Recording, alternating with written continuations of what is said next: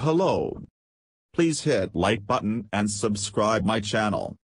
Also press bell icon for future video notifications. Thanks. An international team of scientists claims to have identified two deep-sea microbe groups that produce amorphous carbon, a kind of elemental carbon. This is the first report of amorphous carbon being produced by any organism on Earth, says Virginia Tech biochemist and paper co-author Robert White in a press release, adding that the team is very interested in the possible implications it may have for the carbon cycle.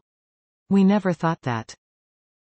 It exists in many different forms, from crystalline diamonds formed under high pressure and temperature to the black, powdery amorphous carbon in soot. In all previously known cases, its synthesis is abiotic, reports Chemistry World. But a paper published on October 27 in Science Advances describes elemental carbon that was produced by microbes cultured from deep-sea sediments. The microbes were initially collected between 2003 and 2009 and cultured for several years to gain a deeper understanding of the biochemical processes of organisms living in the depths of the sea. Among the organisms studied were members of two microbial groups, methanogens, which produce methane instead of carbon dioxide during respiration, and anaerobic methanotrophs, which consume methane as a carbon source. Both thrive in low oxygen environments such as hydrothermal vents in the Gulf of California and deep-sea mud volcanoes in the Mediterranean Sea where the researchers sourced their study samples. When they cultured the microbes, they noticed the organisms produced black specks, which they initially thought might be metal deposits.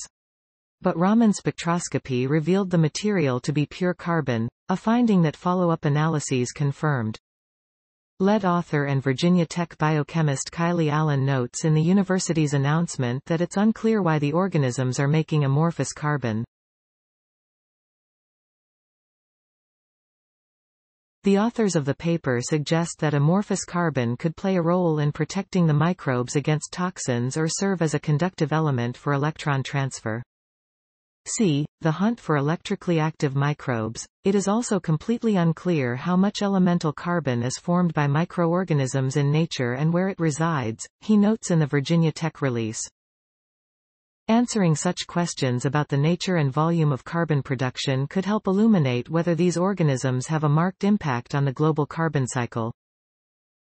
Please support my channel to grow by pressing subscribe button and the bell icon, we will notify you technological news. Thank you.